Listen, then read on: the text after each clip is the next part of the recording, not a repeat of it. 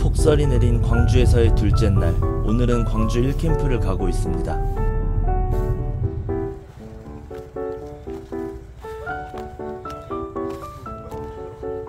안녕하세요. 안녕하세요. 이사님 여기 계시네요 아, 네. 오늘 내려오셨다고 해서 제가 또 같이 좀 안내 좀 해드리려고 왔습니다. 아 진짜로요? 네. 부담스러운데요? 아유, 부담하지 마세요. 안녕하세요 네, 안녕하십니까. 자기소개 한 번만 부탁드리겠습니다 아, 저는 오늘 쿠팡 1년 다니면서 여기로 HR로 넘어온 김종훈입니다. 아 원래 쿠친이셨나요? 네, 1년 동안. 그 넘어오시게 된 이유가 너무 세터가 좋아가지고. 아 쿠친 하실 때 네. 너무, 너무 세터가 어땠는데 안, 좋, 안 좋은가요? 계단만 타는 그런 쪽으로. 아 힘든 예. 그러면 지금 이렇게 HR로 넘어오시고 나서는 좀 괜찮아지셨나요? 네, 많이, 많이 좋아졌죠. 수입도 좀 더 되지 않나요? 예, 한두 배 정도? 아 두 배 두 네. 배나 된다고요? 두 배, 두 배 이상으로 된 것 같긴 해요. 지금 뭐 하고 계셨던 건가요? 아, 지금 반품 붙이고 있었습니다. 어 반품 붙이고 계셨 네. 담배 피우고 계셨잖아요. 아, 그래요? 제가 다 봤는데 네, 아무래도 이제 퀵플렉스가 본격적으로 활성화된 지 1년 넘다 보니까 좀 괜찮은 라우트, 좋은 구역은 퀵플렉스들이 다 가져갔거든요. 후친 분들이 정말 다들 좀 싫어하는 힘든 노선만 타고 그러다 보니까 인센티브도 확 줄어버리게 되고 그런 부분 때문에 후친 분들을 현장에서 자주 만나면 자주 관심을 보이시고 물어보시고 그래요. 저기 종훈이도 이제 그런 케이스로 그러면은 전국에 계신 쿠친 분들께 한마디 해주시죠. 전국의 쿠친 열심히 항상 고생하시는 쿠팡 친구 여러분들 퀵플렉스 같은 경우는 언제나 기회의 문이 활짝 열려 있기 때문에 부담 갖지 마시고 연락 주십시오. 특히 광주권은 항상 저희에게 연락 주십시오. 파이팅! 종훈님 네, 전국에 계신 쿠친 분들께 한마디 해주시죠. 항상 하, 화이팅입니다. 끝인가요? 예. 안녕하세요.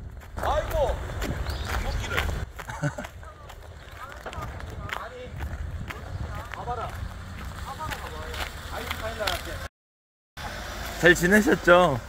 아 벌써 찍고 있는 거예요? 네. 아 네, 그래 쑥스러. 오늘 오늘 하- 원래 화장품도 안 바르는데 화장품 바르고 왔다고. 아, 진짜로요? 아나 진짜 머리도 안 감는데 원래. 오늘 머리도 감고 나오셨나요? 아 추워 죽겠는데. 어쩐지 빛이 물- 나시더라. 물 아껴야 되는데 지금. 나 편집할 때 욕 다 빼요 내 거예요. 야 빨리 시켜. 아, 아침에 원래 이렇게 매일 커피를 드시나요? 웬만하면요. 어제 어제 통 받았잖아. 아 어제 월급 날이었죠? 혹시 실례지만 네, 안 가르쳐줘요. 비밀이에요 비밀. 어제 그 현웅님은 알려주셨거든요. 뭐요? 왜냐면은 제가 배송 따라다니는데 월급이 들어왔어. 아, 아 형님이 네. 대략적으로 좀 말씀해 주실 수 없나요? 790 시켰나? 790이요? 네.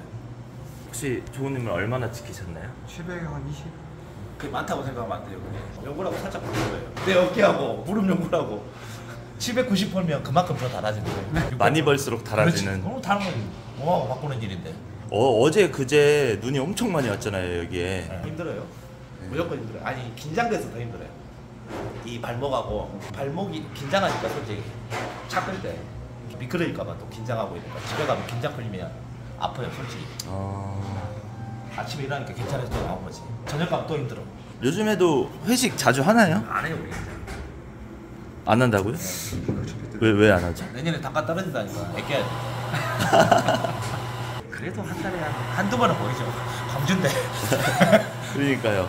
여기 지금 계신 분들은 다 쿠친이셨던 건가요? 거의 다 쿠친이셨던 것 같은데. 1캠은 1캠은 다 붙이네. 2캠은 한 명 빼놓고 다 붙이네. 안 그러면 그 분야 못 쳐요. 너무 힘들어 우리 지훈이가. 출장에 자리 잡으다가 붙이면 안 되면 그걸로 거의 막 400건 이러니까 붙이 출신이니까 그만큼 치기를 원하지. 어차피 거기 사람은 그만큼 쳤으니까 380까지 쳤으니까. 아, 오늘 물량을 찼다. 병욱이도 500개, 지석이도 500개. 아직 병욱이 본 상태가 100%가 아니라 있는데. 어제 어제는 목, 목소리 안 듣던데. 전화에 통화해봤는데.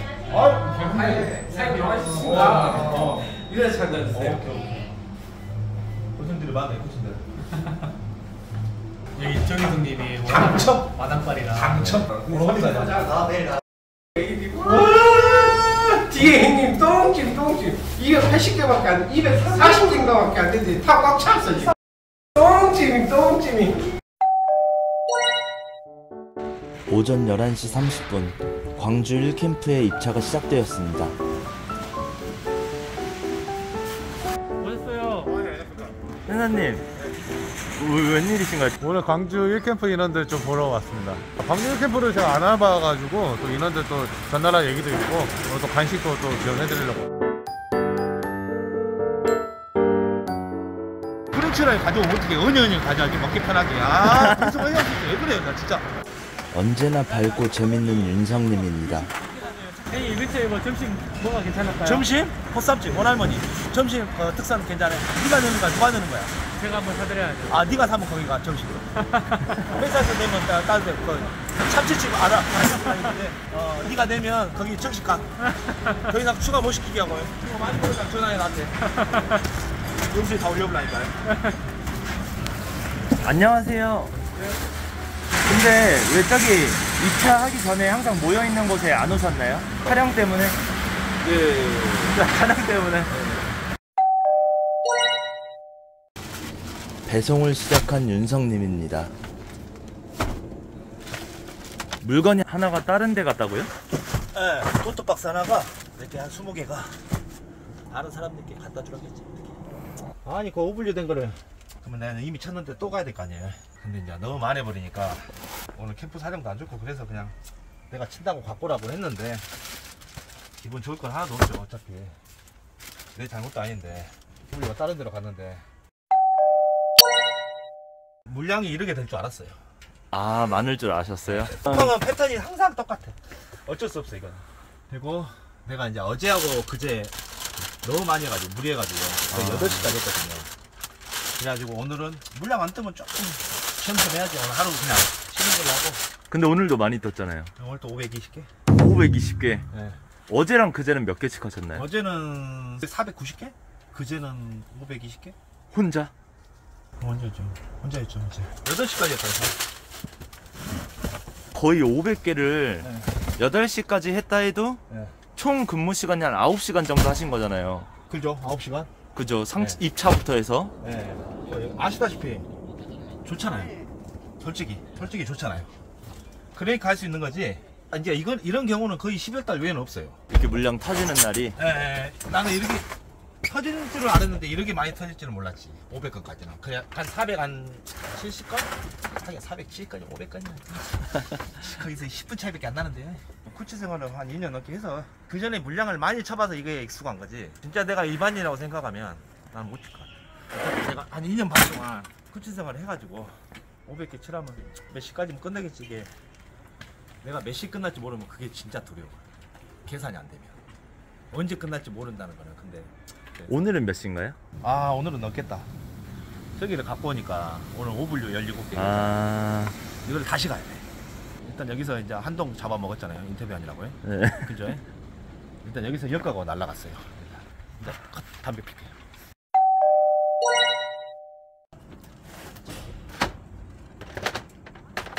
어 근데 길이 이게 눈이 많이 왔다가 날이 따뜻해져서 다 녹으니까 조심하셔야겠어요. 뭐가냐면 괜찮은데 기프트가 다 흙탕물이야 아니 미끄러운 거는 솔직히 이것보다 어제는 훨씬 더 미끄러웠으니까 상관없어 솔직히 근데 기프트 타져가지고 난리야 지금 그게 제일 짜증나요 그 시간에 배송 빨리 하는 팁 같은 게 없어요. 있을까요? 없어요 그거 솔직히 그냥 라우트 빨. 그죠?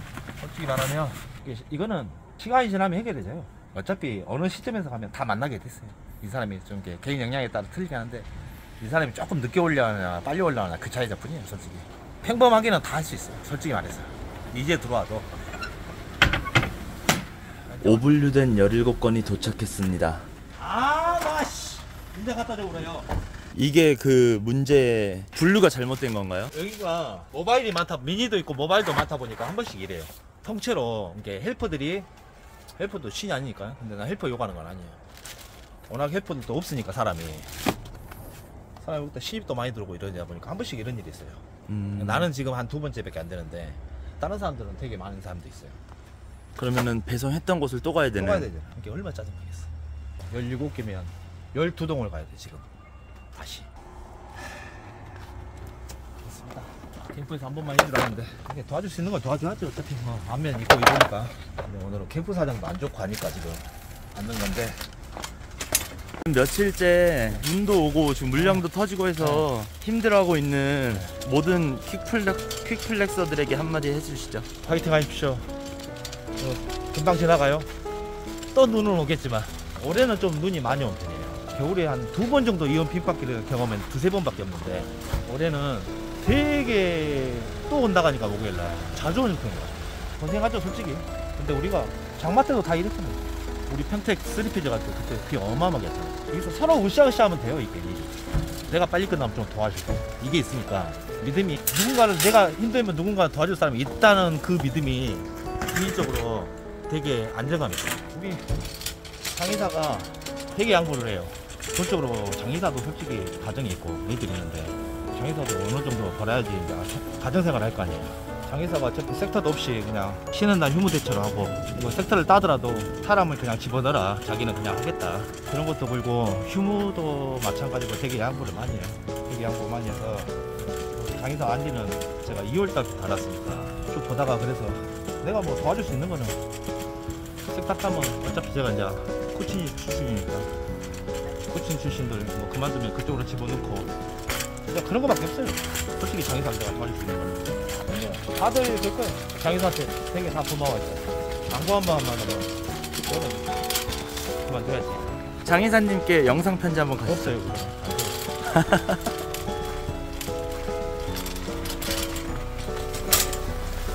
이거 출연하면 혹시 출연료 따로 주나요? 회사에서? 올리니? 올리니?